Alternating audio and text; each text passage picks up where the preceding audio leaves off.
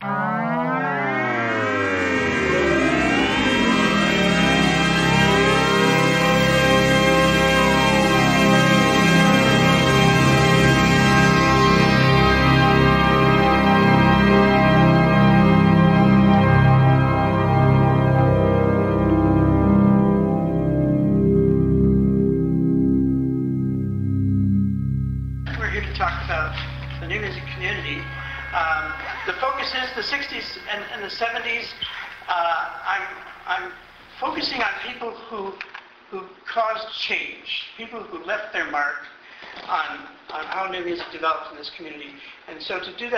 do I'm going to jump back even before the 60s.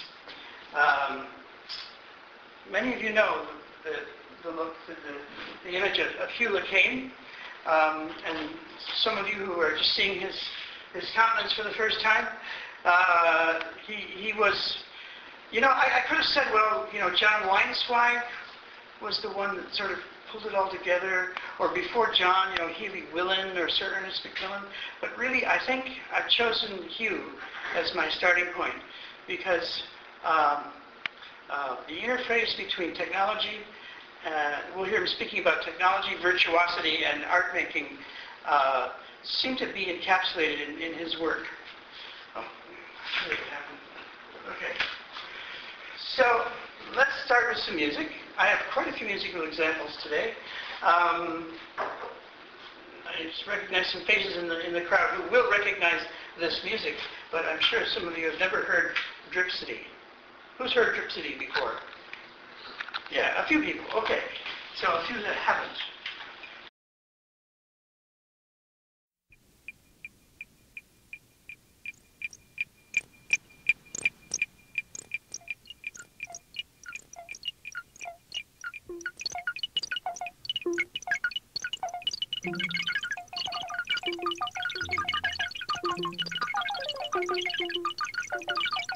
başladı.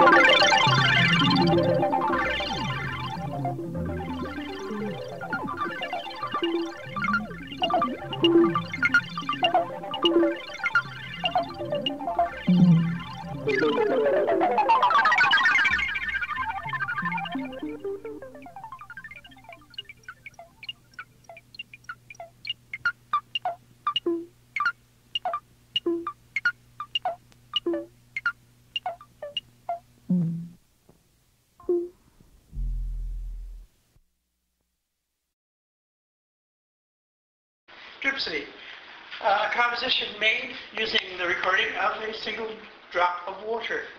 Um, this gadget is, a, this is uh, one of many Hugh Le Caine invented instruments. It's called a special purpose tape player. And you see those loops. And off on the left, you see many motors which act as drives for a whole uh, multiple array of playback heads.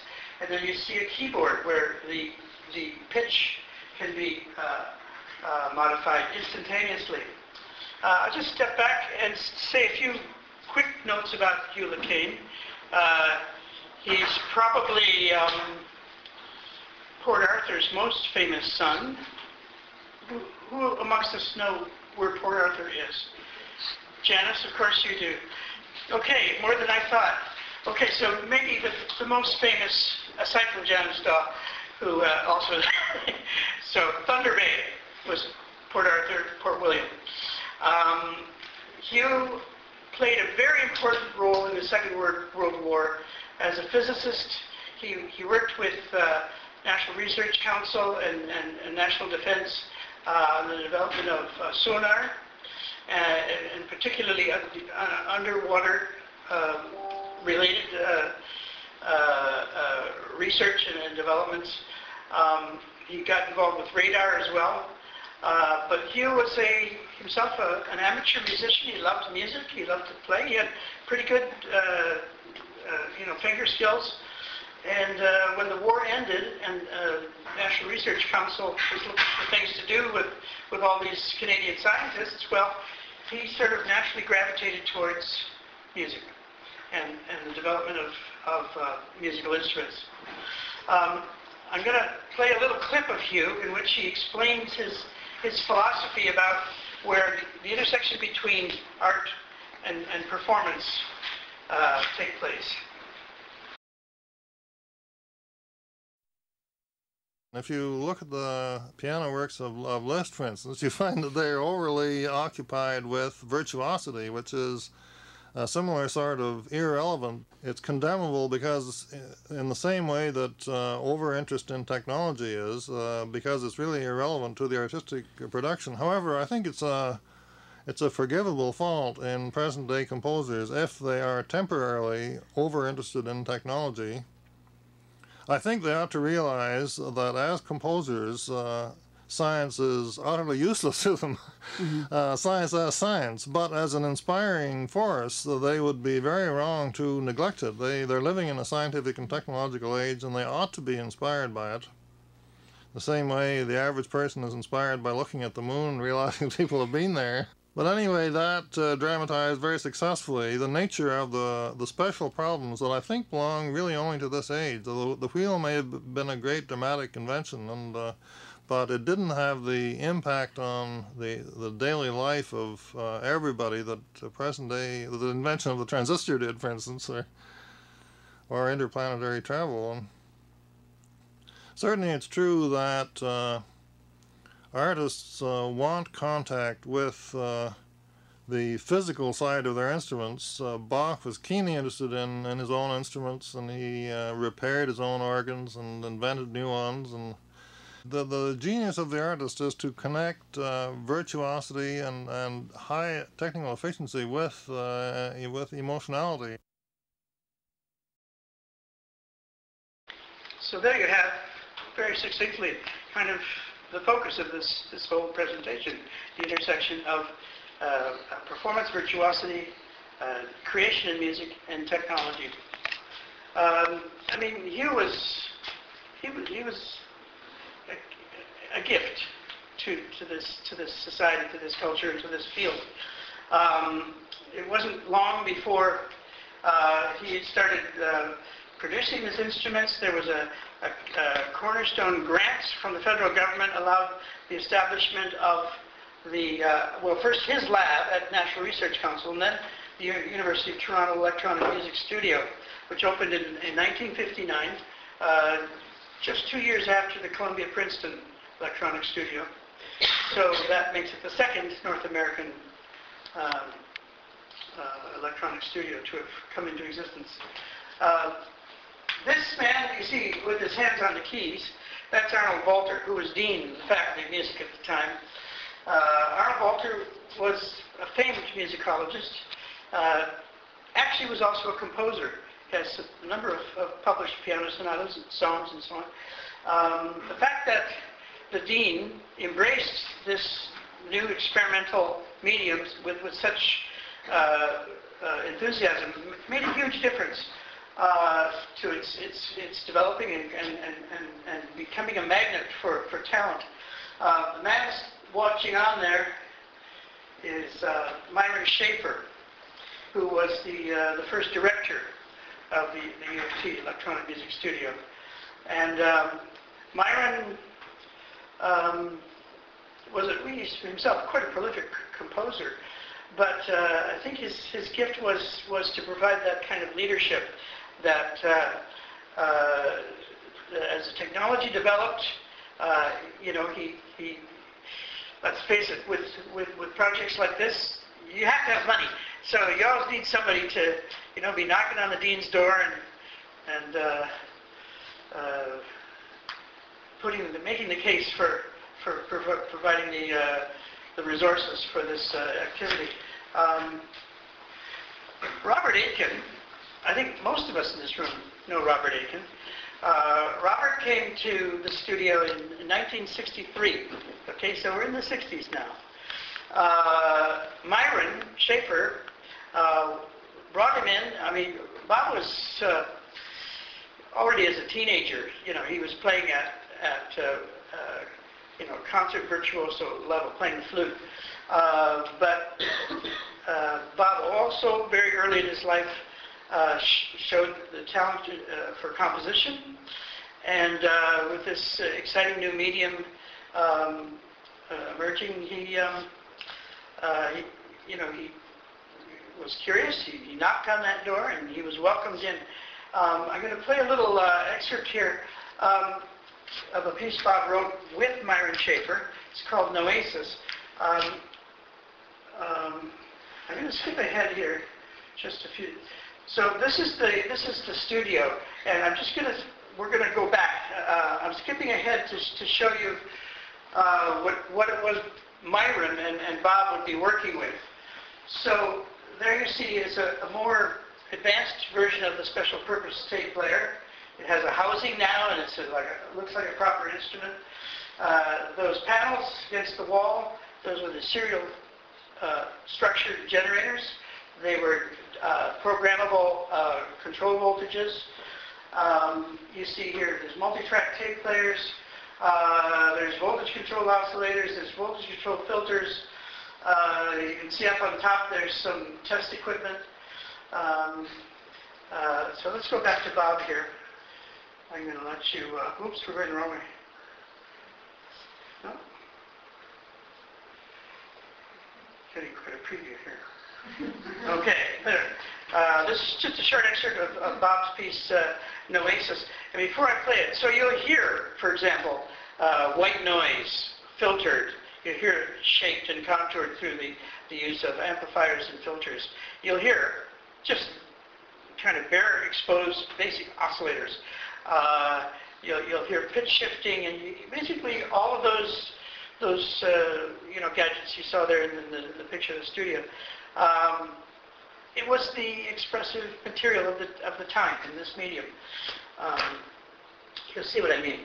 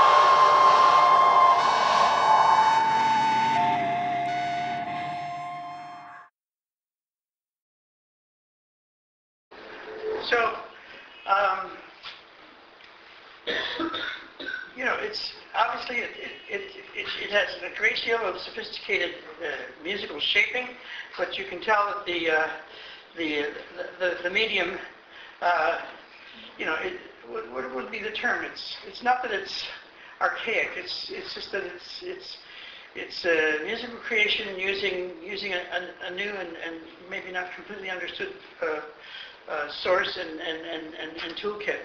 Uh, but the important thing here with, with Robert was that here we have a very accomplished young performer, a uh, person who is, is totally uh, uh, found his way into the, uh, into the world of, of professional music, is a soloist in, in great demand.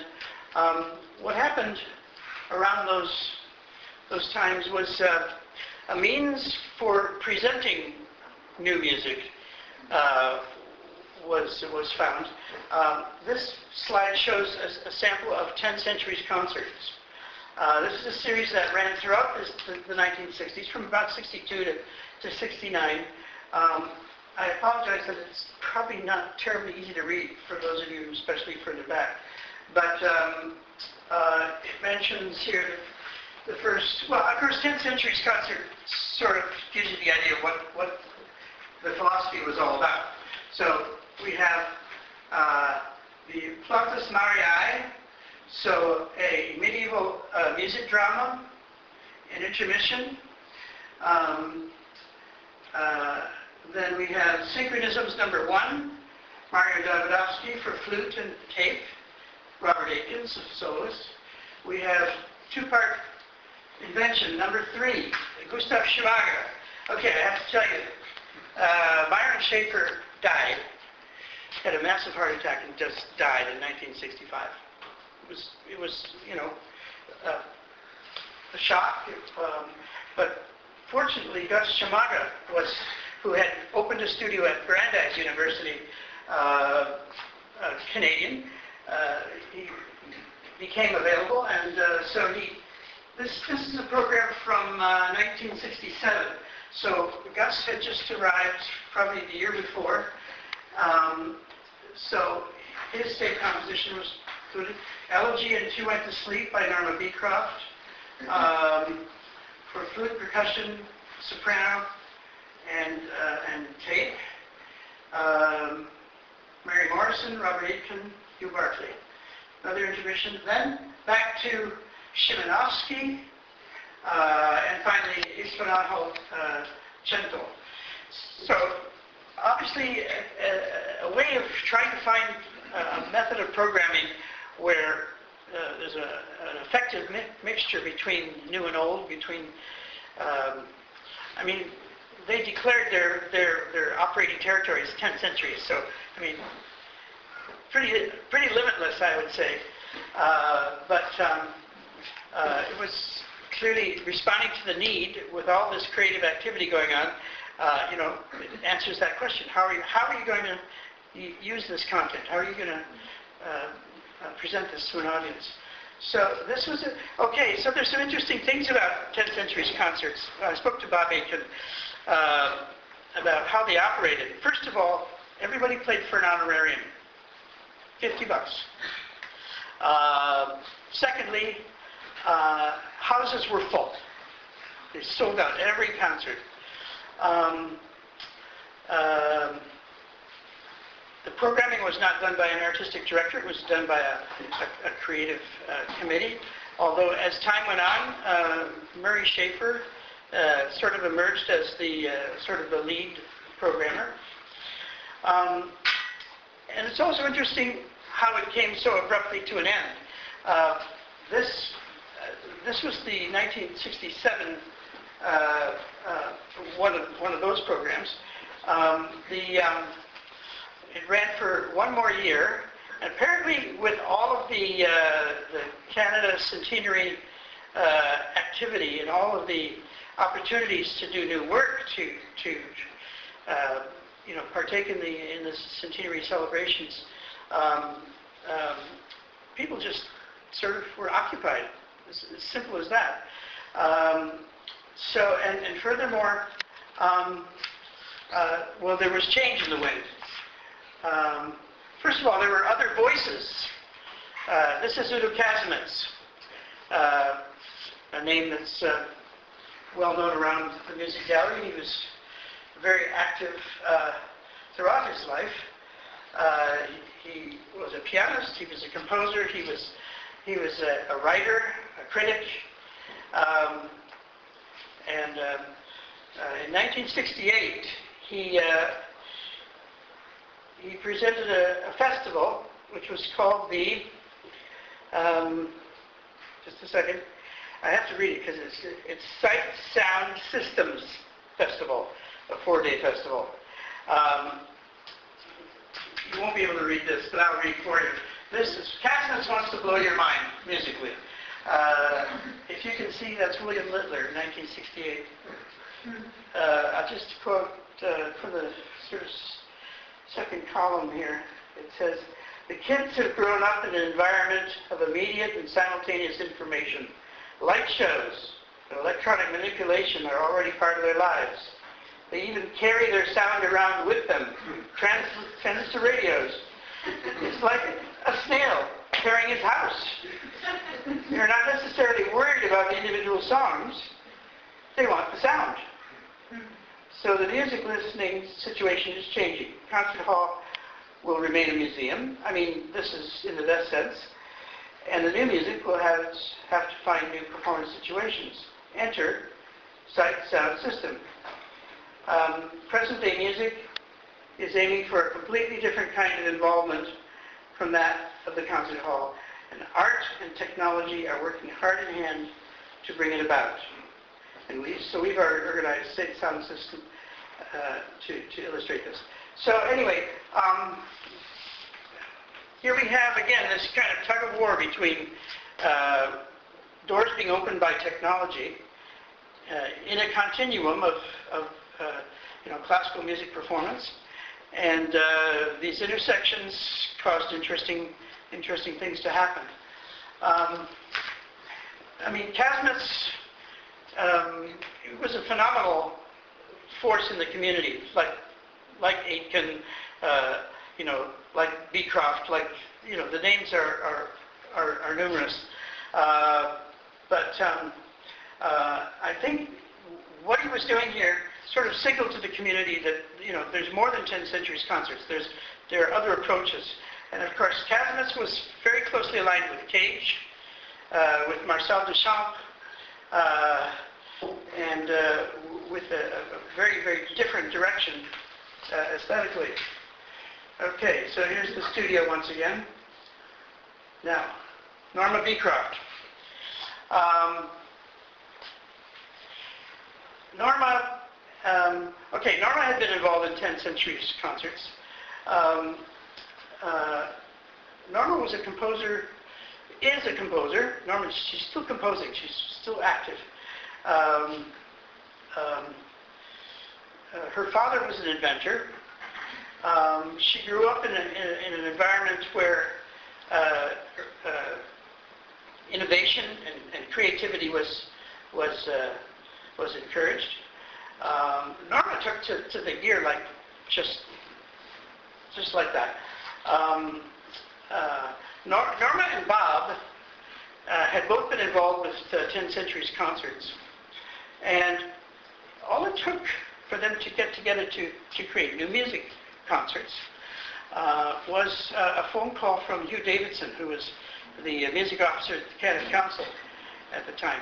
You see, in 1967, on the on the uh, uh, uh the ripples of the centenary uh, activity in Montreal, the SMCQ had started itself, and um, rather famously so. They, you know, immediately were, were uh, well attended, and uh, Serge Garant, the artistic director in Montreal, uh, uh, you know, was a fantastic conductor, a, a brilliant programmer, uh, and they were able to attract audiences.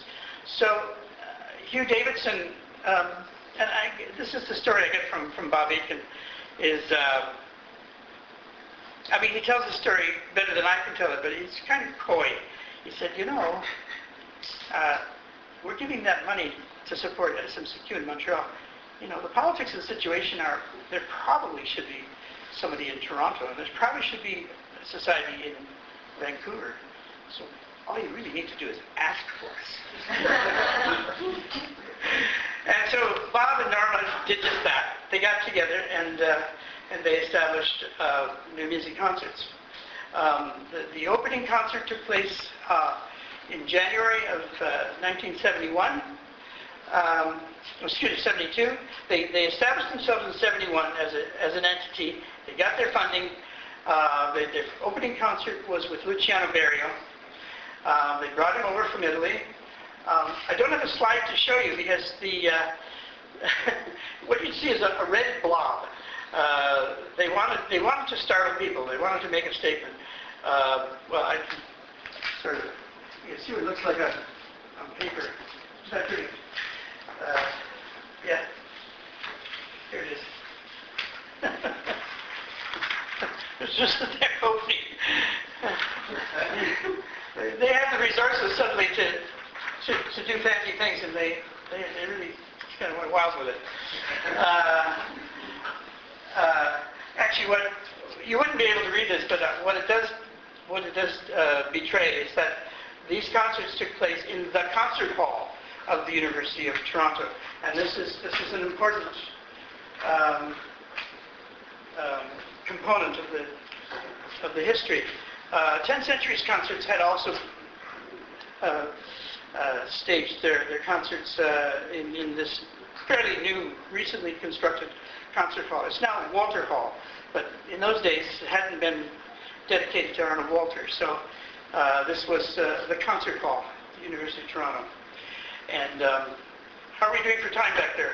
You're, oh, you, yeah, okay, okay, good. Um, so um, uh, it's important to understand that the heritage of this activity was all centered around the university.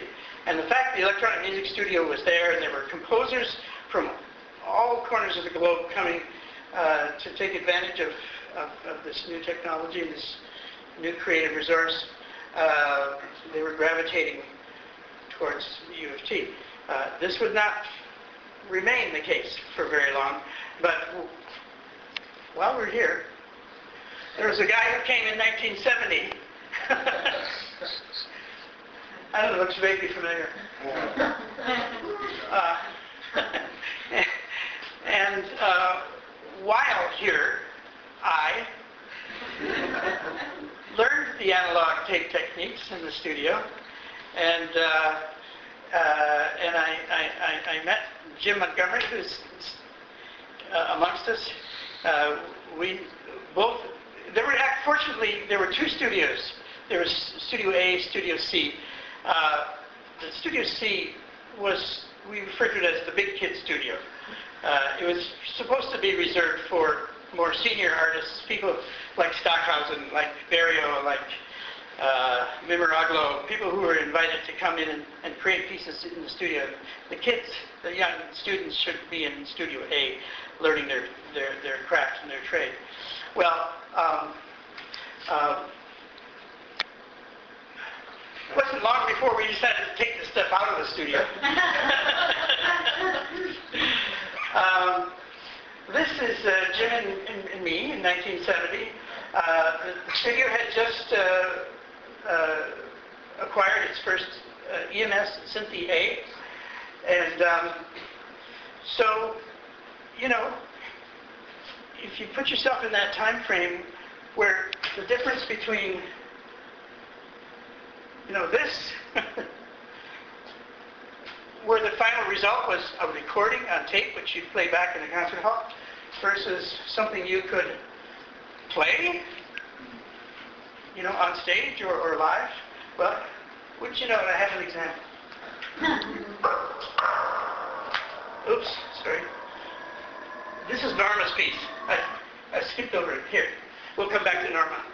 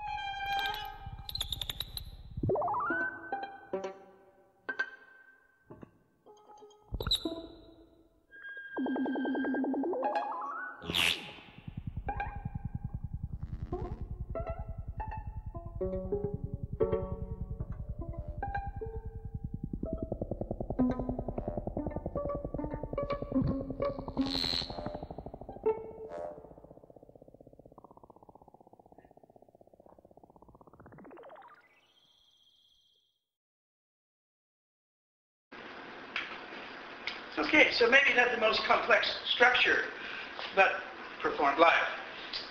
Who's playing violin, David? oh yes, thank you. Uh, Barbara Schneider is her name. Barbara moved on to Calgary. She was a member of the uh, Calgary Philharmonic, and um, yes, and she was had a lot of courage, you know, to hang out with these guys and expose yourself to, uh, you know, possible artistic disaster. Um, Is that composed, or is that, beg your pardon? is that piece composed, or is it? that, in fact, the score for that piece exists on the uh, Music Gallery, you know, the postcard set. Some of you have seen those. There's about a couple hundred of them, different artists who, yeah, it was scored, but it was kind of scored as a flow chart. So it showed how interactions could could could be allowed, and um, um, So is there a certain improvisational element? there is yes, there is definitely a freedom to to to interpret as you go. Um, I want to back up just a little bit here. Um, back to Norma. So um, Norma was busy working at the CBC at the time uh, on a show that she made with Harry Somers called Music of Today. By the way, those uh, tape machines, they were actually uh, donated by this by CBC Radio to the studio. Um, you know, they, as always happens, you know, they they upgraded, they got a better model. What do we do with these? Well, I know some some people at the university could use them. Um, I think that was the last time, actually, that the CBC Radio had much to do with uh, supporting the studio. But uh, uh, in any case, I should acknowledge that. Um, um, Norma was actually the first, call it senior composer, person uh, actually practicing in the field, uh, to take an interest in, in one of my pet projects, which was uh, digital synthesis.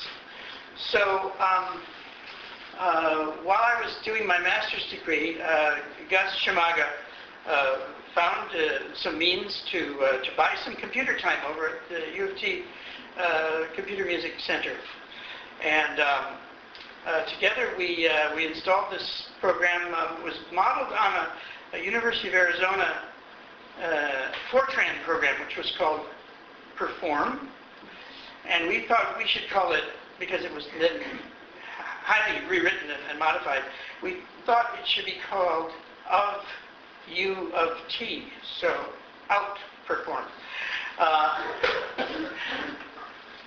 corny, I know, but uh, so Norma was uh, uh, at that time, you know, New Music Concerts was a, was a new venture. It was going strong, uh, highly visible, and so she wrote this piece. Uh, it's actually commissioned by John Roberts at CBC Radio called Piece for Bob. That was the track I skipped over, and um, let's see if I can.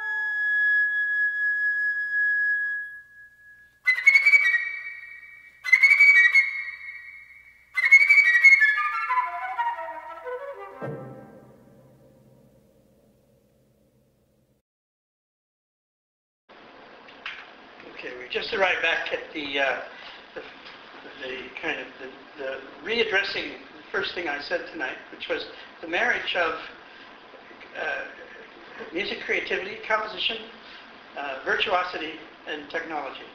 So here already, um, this uh, work is called Piece for Bob. Uh, uh, Bob Aitken has, has performed it dozens of times.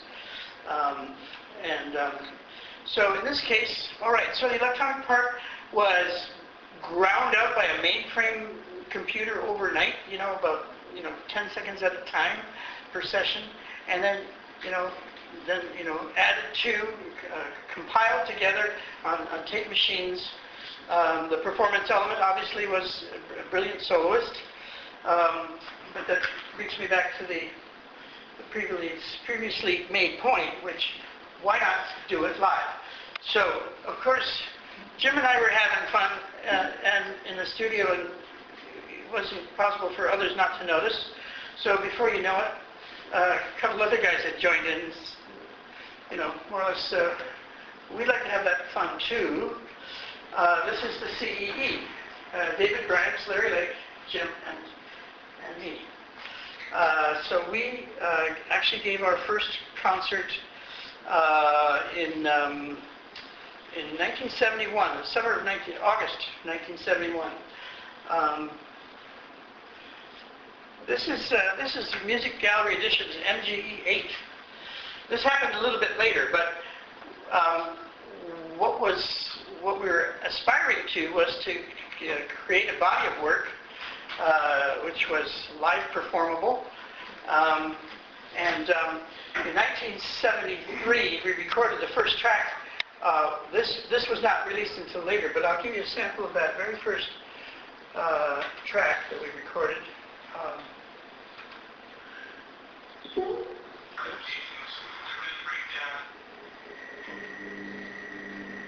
here's the back cover. By this time, we had a bunch of these Sundays. Uh,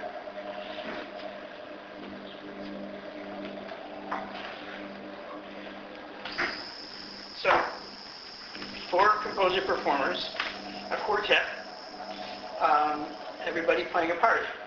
These are still monophonic instruments, by the way. Um, one note at a time. Mind you, that note could be as complex as you could design. So these were works that were rehearsed, collectively composed, and, uh, and presented live in performance.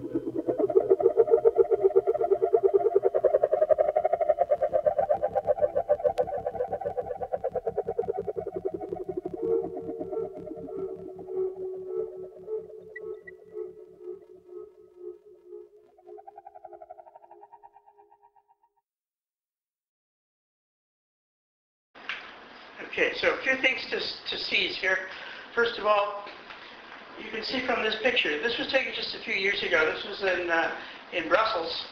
So obviously we were determined to make this a live performance art, so we performed. We created works for live performance, and we toured.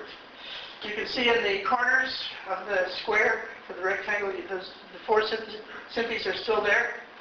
Um, up in the upper left hand, a polyphonic machine. You know, this was this was news. Um, the Yamaha CS60. Um, but the, the other point to, to, to, to, seize upon here is that uh, in these uh, several years, we'd suddenly become very adept at sharing ideas in, in making uh, uh, collective composition. And it seemed to be an idea that was in the air. Um, Nexus would improvise, and, and they would do so brilliantly. Uh, Nexus gave their first concert in 1971, same year as the CEE. Um, their first concert, this is a picture of their, this is in Rochester, uh, Bill Cahn, with, with long hair there, uh, he, uh, he remained in, in, in, Rochester all through this, but uh, shortly after they gave this performance in Rochester, they came to Toronto. Uh, again, summer of 71, uh, there was a, an event called Day Spring at Metropolitan United Church.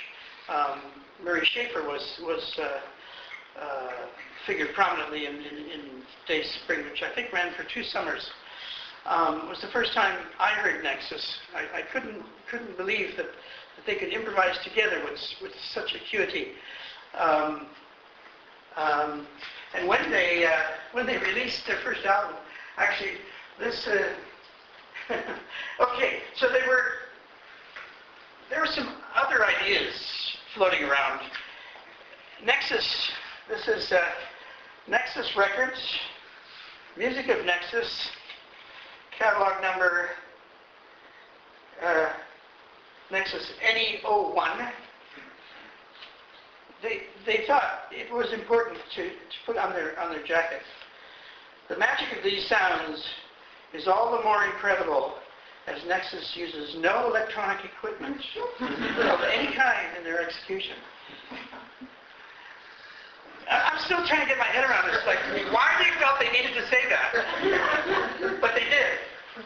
Uh, you know, is it possible that that that we and, and others working together and, and all this development, by now several decades of, of development at the U of T Electronic Studio, had somehow made such a such a strong impact that people had to sort of say, no, no, that's not us.